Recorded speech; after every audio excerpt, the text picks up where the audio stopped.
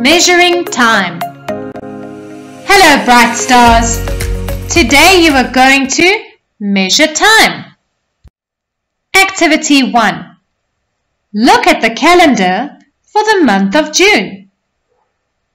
Then answer the questions.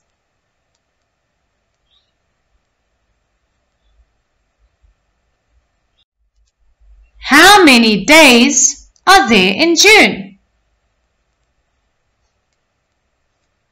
What is the highest number you can see on the calendar?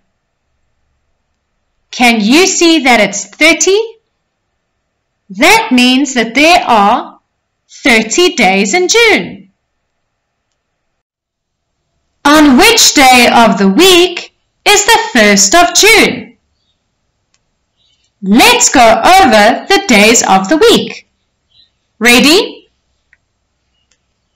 Monday, Tuesday, Wednesday, Thursday, Friday, Saturday, Sunday. Here is the 1st of June. The 1st of June is on a Wednesday. Great! The month before June is... Let's have a look at the full calendar for 2016. Here is June. This is the month before June. So the month before June is May. That's it. On this calendar, how many Sundays are in June? Here are all the days that are Sundays in June. Let's count them. One, two, three, four. So there are four Sundays in June. Great.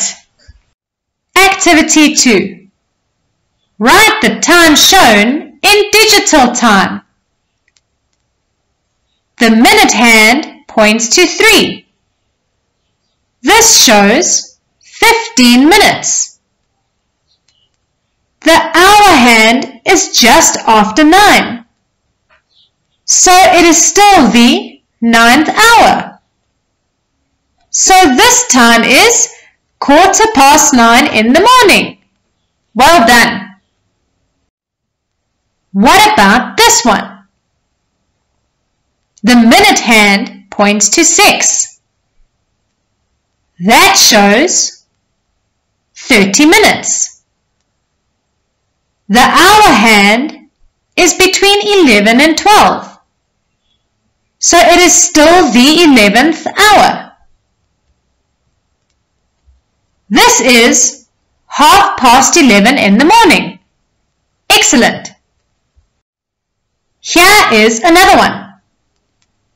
The minute hand points to 12. This shows 0 minutes. The hour hand is exactly on 4. So it is 4 o'clock. But it's 4 o'clock in the afternoon. So this is how we show 4 o'clock in the afternoon in digital time. Last one. The minute hand is on 10. That shows 50 minutes. The hour hand is between 8 and 9. So it's still the 8th hour. But it's the 8th hour at night. So we write 10 minutes to 9 like this.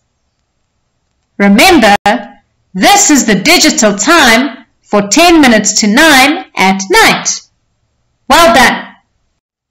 Activity 3. Tina watched TV from quarter past 10 to 11. How long did Tina watch TV for? Let's count how many minutes there are from quarter past 10 to 11 o'clock. Ready? 5, 10, 15, 20, 25, 30, 35, 40, 45. So Tina watched TV for 45 minutes. How long do you watch TV for? Have fun!